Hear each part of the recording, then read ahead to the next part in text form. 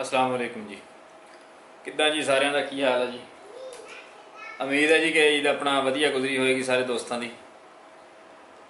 ਪਾਕਿਸਤਾਨੀ ਵੀਰਾਂ ਦੀ ਤਾਂ ਫਿਰ ਵਧੀਆ ਗੁਜ਼ਰਨੀ ਸੀਗੀ, ਕਿਉਂਕਿ ਕੁਰਬਾਨੀਆਂ, ਸ਼ਰਬਾਨੀਆਂ ਤੇ ਜ਼ਰਾ ਮਾਹੌਲ ਸ਼ੌਲ ਸਭ ਸਨ ਹੈ? ਤੇ ਬਾਹਰਲੇ ਵੀਰਾਂ ਦੇ ਮੈਂ ਦੇਖਿਆ, ਫੋਟੋ ਖਿਚਾ ਖਿਚਾ ਕੇ ਸਿੱਟ ਰਹੇ ਸੀ, ਇੰਜੋਏ ਕਰ ਰਹੇ ਸੀ ਆਪਣੇ ਦੋਸਤਾਂ ਦੇ ਨਾਲ। ਕਿਦਾਂ ਜੀ, ਕਾਸ਼ਫ ਗੁੱਜਰ ਸਾਹਿਬ ਦੇ ਫੋਟੋ ਦੇਖੇ ਨੇ, ਰਾਜਾ ਵਕਾਰ ਸਾਹਿਬ ਦੇ ਦੇਖੇ ਨੇ, ਦੀਗਰ ਦੋਸਤ ਜਿੰਨੇ ਮੇਰੇ ਕੋਲ ਐਡ ਸੀਗੇ, ਉਹਨਾਂ ਦੇ ਅਕਸਰ ਦੇਖੇ ਨੇ, ਔਰ ਅਟੈਚ ਵੀ ਰਹਿੰਦੇ ਉਹਨਾਂ ਲੋਕਾਂ ਦੇ ਨਾਮ ਲਏ ਨੇ। ਬੜੀ ਵਧੀਆ ਆਪਣਾ ਜਿਹੜਾ ਆ, ਈਦ ਗੁਜ਼ਾਰ ਰਹੇ ਸਨ। ਮੈਂ ਨਾ ਸਾਡੇ ਨਾਲੋਂ ਤੁਸੀਂ ਈਦ ਦੇ ਮੌਕੇ ਤੇ ਸ਼ਾਇਦ ਬਿਹਤਰ ਗੁਜ਼ਾਰ ਲੈਂਦੇ। ਉਹਦੀ ਰੀਜ਼ਨ ਇਹ ਹੈ ਕਿ ਤੁਸੀਂ ਛੁੱਟੀ ਦੇ ਮੌਕੇ ਤੇ ਦੋਸਤਾਂ ਦੇ ਨਾਲ ਵਧੀਆ ਤਰੀਕੇ ਨਾਲ ਅੱਗੇ ਪਿੱਛੇ ਨਿਕਲ ਜਾਂਦੇ ਹੋ। ਇੱਥੇ ਕੁਰਬਾਨੀ ਦੇ ਦਿਨ ਤਾਂ ਗੁਜ਼ਰ ਜਾਂਦਾ ਹੈ, ਉਸ ਤੋਂ ਬਾਅਦ ਅੱਗੇ ਪਿੱਛੇ ਨਿਕਲਣ ਵਾਲਾ ਜਿਹੜਾ ਕਨਸੈਪਟ ਹੈ ਨਾ, ਉਹ ਪਹਿਲੇ ਤਾਂ ਹੁੰਦਾ ਸੀ ਸ਼ਾਦੀ ਤੋਂ, ਲੇਕਿਨ ਸ਼ਾਦੀ ਤੋਂ ਬਾਅਦ ਏਡਾ ਉਹ ਖਾਸ ਰਿਹਾ ਨਹੀਂ। ਖਸੂਸਨ ਸਾਡੇ ਰੰਗਿਆਂ ਵਾਸਤੇ ਜਿਨ੍ਹਾਂ ਦਾ, ਜਿਨ੍ਹਾਂ ਦੇ ਸਹੁਰੇ ਹੀ ਦੂਰ ਹੋਣ। ਬਹਰਾਲ ਫਿਰ ਵੀ ਮੰਮੀ ਇੱਕ ਦੋ ਜਗ੍ਹਾ ਤੇ ਨਿਕਲ ਗਿਆ ਸੀ, ਇੱਕ ਦੋ ਦਿਨ। ਮਾਜ਼ਰਤ, ਵੱਡੀ ਮਾਜ਼ਰਤ ਆ, ਜਿਹੜੇ ਦੋਸਤ ਲਾਗੇ ਤਾਗੇ ਮੇਰੇ ਇਲਾਕਿਆਂ ਦੇ ਆਏ ਹੋਏ ਸਨ ਮਿਲਣ ਵਾਸਤੇ। ਤੇ ਉਹ ਨਾ ਮਿਲ ਸਕੇ, ਉਹਦੀਆਂ ਦੋ ਰੀਜ਼ਨਾਂ ਸਨ। ਇੱਕ ਤਾਂ ਮੈਂ ਨਿਕਲ ਗਿਆ। ਸਭ ਤੋਂ ਬੜੀ ਰੀਜ਼ਨ ਇਹ ਸੀ ਕਿ ਮੈਂ ਖੁਦ ਕਿਤੇ ਨਾ ਕਿਤੇ ਨਿਕਲ ਨੁਕਲ ਜਾਂਦਾ ਸੀ। ਦੂਸਰੀ ਇੱਕ ਰੀਜ਼ਨ ਛੋਟੀ ਜਿਹੀ ਇਹ ਵੀ ਰਹੀ ਕਿ ਕੋਈ ਬਿਲਾ ਵਜ੍ਹਾ ਜੀ ਈਦ ਦੇ ਮੌਕੇ ਤੇ ਨਾ ਸੁਸਤੀ ਜੀ ਛਾ ਜਾਂਦੀ ਹੈ। ਇੱਕ ਤਾਂ ਬੰਦੇ ਦਾ ਦਿਲ ਨਹੀਂ ਕਰਦਾ। ਕਿ ਯਾਰ ਮੈਂ ਕਿਸੇ ਕੋਲ ਜਾਵਾਂ, ਸ਼ਾਇਦ ਅਗਲਾ ਪਤਾ ਨਹੀਂ ਮਹਿਸੂਸ ਨਾ ਕਰੇ ਜਾਂ ਕਿਤੇ ਜਾਣਾ ਚਾਹੁੰਦਾ ਹੋਵੇ ਤੇ ਸ਼ਾਇਦ ਮੇਰੀ ਵਜ੍ਹਾ ਤੋਂ ਰੋਕ ਨਾ ਜਾਵੇ। ਉਹ ਫਿਰ ਦਿਲ ਵਿੱਚ ਖਿਆਲ ਆਉਂਦਾ, ਫਿਰ ਮੈਂ ਕਿਤੇ ਜਾਂਦਾ ਨਹੀਂ। ਅਗਰ ਮੈਂ ਫੈਮਿਲੀ ਦੀ ਵਜ੍ਹਾ ਤੋਂ ਕਿਤੇ ਗਿਆ ਵੀ ਆ ਹੁਣ ਵੀ ਮੈਂ ਗਿਆ ਗਿਆ ਵੀ ਆ ਇਹ ਵੀ ਨਹੀਂ ਕਿ ਨਹੀਂ ਗਿਆ ਗਿਆ ਵੀ ਆ ਤੇ ਫਿਰ ਉੱਥੇ ਜਾ ਕੇ ਵੀ ਮੈਂ ਕੋਸ਼ਿਸ਼ ਕਰਕੇ ਜਿਹੜਾ ਨਾ, ਉਹ ਜਲਦ ਤੋਂ ਜਲਦ ਵਾਪਸ ਆਵਾਂ। ਮਤਲਬ ਫਿਰ ਵੀ ਮਜਬੂਰੀ ਨੂੰ ਜਾਣਾ ਪੈਂਦਾ ਬੱਚਿਆਂ ਦੀ ਵਜ੍ਹਾ ਤੋਂ। ਬਹਰਾਲ ਅਲਹਮਦੁਲਿਲਾ ਅੱਛੀ ਈਦ ਗੁਜ਼ਰੀ ਸੀ ਤੇ ਜ਼ਿਆਦੀ ਈਦ ਜਿਹੜਾ ਆ, ਉਹ ਥੋੜੀ ਉਦਾਸੀ ਟਾਈਪ ਦੇ ਵਿੱਚ ਹੀ ਗੁਜ਼ਰੀ ਸੀ। ਮੈਨੂੰ ਆਪਣਾ ਯਾਦ ਆ ਗਿਆ, ਆਪਣੇ ਉਦਾਸੀ ਤੋਂ ਯਾਦ ਆ ਗਿਆ। ਮਤਲਬ ਖੁਰਸ਼ੀਦ ਸਾਹਿਬ ਹੁੰਦੇ ਸੀ ਸਾਡੇ ਜਾਣਨ ਵਾਲੇ। ਭਲੇ ਵਕਤ ਦੇ ਵਿੱਚ ਸਾਡੇ ਸਲਾਮਾਂ ਲੈ ਕੇ ਉਹਨਾਂ ਨਾਲ ਹੁੰਦੀ ਸੀ। ਮਲਕ ਸਾਹਿਬ ਦੇ ਇੱਥੋਂ ਜਦੋਂ ਜਾਣ ਲੱਗੇ ਆ ਮਲਕ ਖੁਰਸ਼ੀਦ ਸਾਹਿਬ, ਕੁਝ ਦੋਸਤ ਸ਼ਾਇਦ ਵੀਡੀਓ ਦੇਖਣ ਵਾਲੇ ਜਾਣਦੇ ਵੀ ਹੋਣ। ਤੇ ਉਦੋਂ ਮੇਰੀ ਗੱਲ ਹੋਈ ਉਹਨਾਂ ਨਾਲ। ਮੈਂ ਕਿਹਾ, ਮਲਕ ਸਾਹਿਬ, ਕੋਈ ਗੱਲ ਹੋਈ? ਮੈਂ ਕਿਹਾ, ਮਲਕ ਸਾਹਿਬ, ਹੁਣ ਦੁਬਾਰਾ ਪਤਾ ਨਹੀਂ ਆਪਾਂ, ਇਹ ਢੇਰ ਤੱਕ ਪਿਆਰ ਮੁਹੱਬਤ ਸੀ। ਬੜਾ ਮੁਖਲਸ, ਅੱਛਾ, ਅੱਛੀ ਦੋਸਤੀ ਸੀ। ਮੈਂ ਕਿਹਾ ਮਲਕ ਸਾਹਿਬ, ਹੁਣ ਆਪਾਂ ਪਤਾ ਨਹੀਂ ਆਪਣੀ ਕਦੋਂ ਮੁਲਾਕਾਤ ਦੁਬਾਰਾ ਹੋਏਗੀ ਜੀਂਦਿਆਂ ਨੂੰ, ਹੈ। ਤੇ ਮਲਕ ਸਾਹਿਬ ਨੇ ਇੱਕ ਸ਼ੇਰ ਕਿਹਾ, ਮੈਂ ਤੁਹਾਨੂੰ ਸੁਣਾਉਣਾ ਹੈ ਕਿ ਵਕਤ ਰੁਖਸਤ ਕੀ ਜੋ ਨਿਸ਼ਾਨੀ ਤਲਬ, ਤੋ ਕਹਾ ਦਾ ਕਾਫੀ ਹੈ ਜੁਦਾਈ ਕਾ ਗਰ ਯਾਦ ਰਹੇ। ਤਾਂ ਮੈਨੂੰ ਬੜੀ ਚੰਗੀ ਤਰ੍ਹਾਂ ਨਾਲ ਇਹ ਸ਼ੇਰ ਅੱਜ ਵੀ ਯਾਦ ਆ, ਤੇ ਪਿਛਲੇ ਦਿਨ ਬਲਕਿ ਇੱਕ ਹੋਰ ਮਾਮਲਾ ਹੋਇਆ, ਉਹਦੇ ਵਿੱਚ ਵੀ ਮੈਂ ਇਹ ਗੱਲ ਕਹੀ।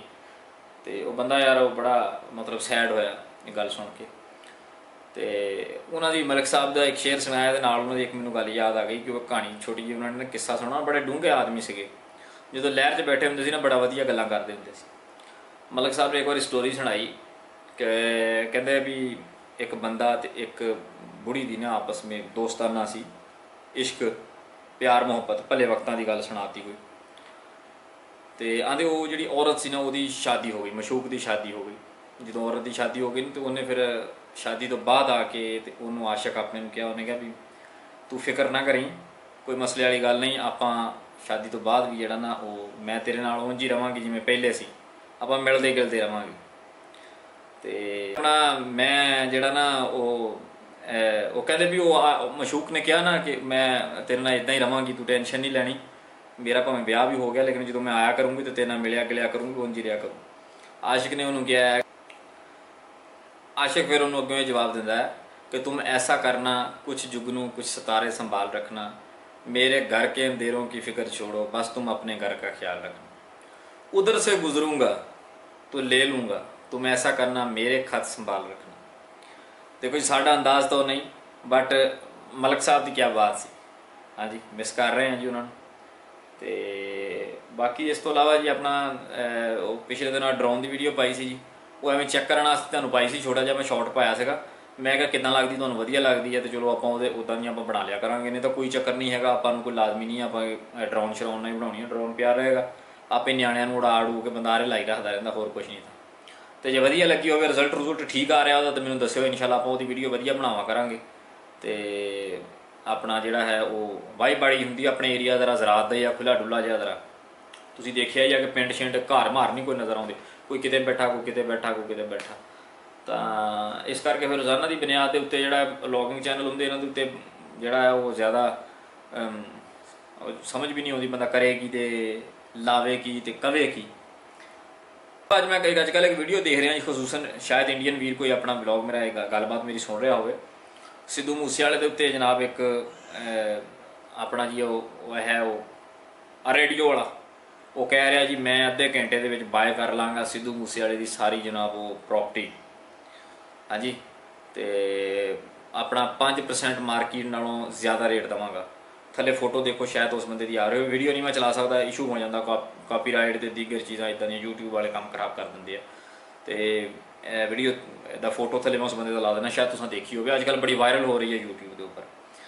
ਤੇ ਉਹ ਬੜੀ ਭੈੜੀ ਗੱਲ ਕੀਤੀ ਉਹਨੇ ਜੀ, ਮੇਰੇ ਤਾਂ ਨਾ ਪਸੰਦ ਲੱਗਾ ਉਹ ਬੰਦਾ ਵੀ ਚਬਲਾ ਮਾਰੀ ਜਾਂਦਾ, ਰੇਡੀਓ ਤੇ ਬੈਠਾ। ਬਾਕੀ ਉਹਨੇ ਸਾਰੇ ਗੁਲਕਾਰਾਂ ਨੂੰ ਵਿੱਚੇ ਧੱਸ ਦਿੱਤਾ, ਉਹਨੇ ਕਿਹਾ ਲਈ ਕੀ ਬੈਠੇ ਆ?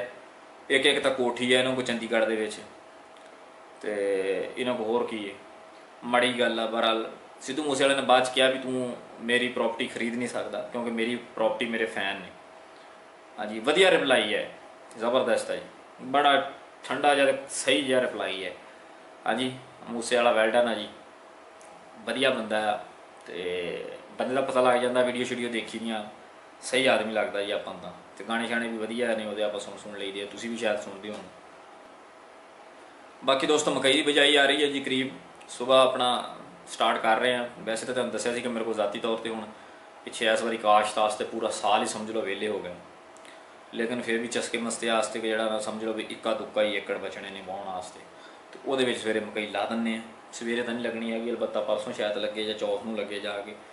ਤੇ ਲੇਕਿਨ ਇਹ ਆ ਵੀ ਸਵੇਰ ਜਿਹੜਾ ਹੈ, ਉਹ ਥੋੜਾ ਉਹਨੂੰ ਪੱਟੋ ਖੋ ਕਰ ਲੈਨੇ ਆ ਉਹ ਬਣਾਉਣ ਛਣਾਉਣ ਵਾਲਾ ਕੰਮ ਜਿਹੜਾ ਉਹ ਕਰ ਲੈਨੇ ਆ ਤੇ ਬਾਕੀ ਆਪਣਾ ਜਿਹੜਾ ਹੈ, ਮੌਸਮ ਠੀਕ ਹੈ, ਹੁਣ ਮਕਈ ਲਾਉਣੀ ਚਾਹੀਦੀ ਹੈ। ਵਧੀਆ ਐਵਰੇਜ ਆਊਗੀ, ਜਿਹੜੇ ਦੋਸਤ ਲਾਉਣਗੇ ਹੁਣ ਇਸ ਮੌਸਮ ਦੇ ਵਿੱਚ। ਤੇ ਵਧੀਆ ਬੀਜ ਦਾ ਇੰਤਖਾਬ ਕਰੋ। ਇਨਸ਼ਾਅੱਲਾ ਵਧੀਆ ਐਵਰੇਜ ਰਹੂਗੀ ਫਿਟ ਰਹੇਗਾ ਕੰਮ। ਆਪਣਾ ਤੇ ਆਪਣੀ ਫੈਮਿਲੀ ਦਾ ਖਿਆਲ ਰੱਖੋ ਜੀ। ਥੈਂਕਸ ਫॉर ਵਾਚਿੰਗ ਬਾਕੀ ਦੋਸਤੋ ਆਈਡੀਆ ਦਿੰਦੇ ਰਿਹਾ ਕਰੋ ਕਮੈਂਟ ਕਰਕੇ ਥੱਲੇ, ਕਿਸ ਟਾਈਪ ਦੀ ਵੀਡੀਓ ਕਿਸ ਟਾਈਪ ਦੀ ਮੁੱਦੇ ਤੇ ਬਾਤਚੀਤ ਹੋਣੀ ਚਾਹੀਦੀ, ਉਹਦੇ ਨਾਲ ਬੰਦੇ ਨੂੰ ਆਈਡੀਆ ਮਿਲਦੇ ਰਹਿੰਦੇ ਆ। ਅਦਰਵਾਈਜ਼ ਫਿਰ ਲਿਮਟਿਡ ਜਿਹਾ ਹੀ ਹੁੰਦਾ ਬੰਦਾ, ਉਸ ਤੋਂ ਅੱਗੇ ਫਿਰ ਫ- ਰੋਜ਼ਾਨਾ ਦੀ ਬੁਨਿਆਦ ਤੇ ਕੀ ਬਣਾਉਣਾ ਹੁੰਦਾ। ਸੁਜੈਸ਼ਨ ਮਿਲਦੀ ਰਹੇ ਨਾ ਦੋਸਤਾਂ ਕੋਲੋਂ ਤੇ ਵਧੀਆ ਰਹਿ ਜਾਂਦਾ ਕੰਮ।